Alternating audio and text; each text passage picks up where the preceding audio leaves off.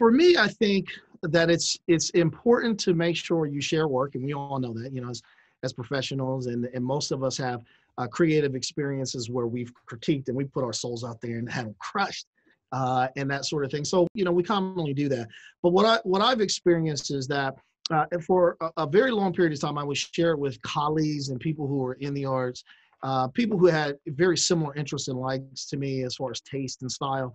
And what I've learned is the most honest feedback that I think you can get is from people who aren't really experts, you know, that they just have this authentic, genuine sort of gut response and reaction uh, to things. Uh, I, I, learned in, in some of my former roles that some of the most effective designers were those who the brand wasn't really appealing to. So I talked about Victoria's Secret briefly, but I saw that there were a lot of male designers at Victoria's Secret, mostly women designers, but male designers we never bought the product but because we really didn't know the product we had a uh, uh, an interest a curiosity to really understand the audience and understand the business and it made our product and our uh, development of our promotions much stronger. So i so i really enjoy and i encourage individuals recruiting people who are uh, really not experts and getting getting those opinions and balancing that against those of the you know the creative experts.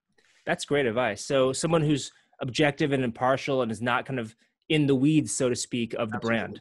Yeah. absolutely. Someone who just it's a fresh eye no experience and they're really going by their gut. And that's kind of the reaction with a lot of things we want is how do you initially see it and how do you respond to it when you see it? You know that's a really good point robert. I think like there's the sort of in the hollywood movie corollary that sort of testing right? Like they're not like getting critic reviews but they're gathering you know when back when you can go into a movie theater like you could have like you know 100 people just off the street giving giving sort of their impartial feedback and that goes gets back to the studio. So that's that's a corollary to what you're talking about.